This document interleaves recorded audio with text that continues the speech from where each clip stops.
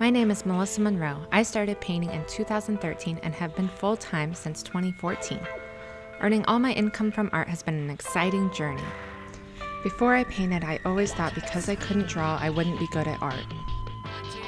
And in 2013, I saw an artist painting a mural at my new workplace. My life changed in that moment. Art has opened a way for me to express my feelings, which led me to change my life. This will be my fifth year participating in Portland Open Studios. This is my favorite event of the year to show new and old collectors what I've been working on and the space I create. Last year, I moved into a new studio in Northeast Portland. It used to be a church, so it has a large room on it.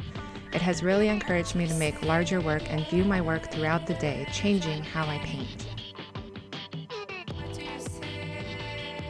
My paintings are constructed of expressive mark-making techniques. Paintings often start as palettes and transition into paintings once built up. My work is intuitive and stays abstract until finished or becomes figurative once inspired to do so. I never know what I will create. Expectations can ruin the unexpected. I'm constantly pushing myself to create work that is stronger, better than the last. My lines are consistent, but my work is constantly inspired by my surroundings. I'm inspired by vintage items, human emotions, and colors in nature. I create my work with many layers of acrylic paint and some colored pencil. I work on several pieces at a time, and this keeps me excited about my work.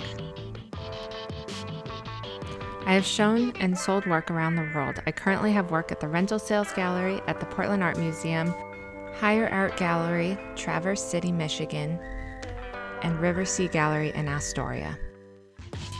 I show my work in local shops around Portland and I look forward to hosting events in my studio in the future.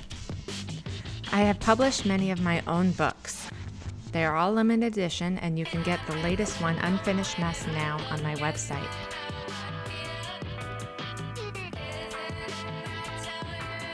My masks are different parts of who I am. I find wearing and creating them to be a spiritual practice of play. The masks are made of different materials such as paper clay, wire, plaster, and latex. I use the masks to make videos with my partner Jesse Reno. We have performed our music to accompany these videos. Music is a huge part of my inspiration, performing and as a viewer. I normally attend shows every weekend and play with my band, Soft Memory. The song in the background is from my band.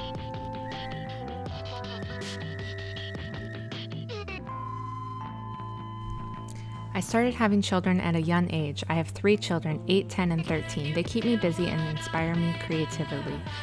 I created a series called Bad Mother about the struggle of never being enough, and more recently, a series called Plastic Ego about the vanity and brand, which came about after my daughter wanting a Gucci clothing, and I made her a bootleg version using the screens. The screens ended up in my work and birthed this series.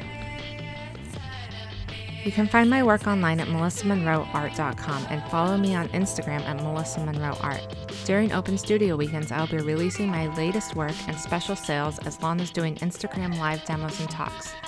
If you scroll to the bottom of my site, you can sign up for my email list to hear more about upcoming events and sales throughout the year.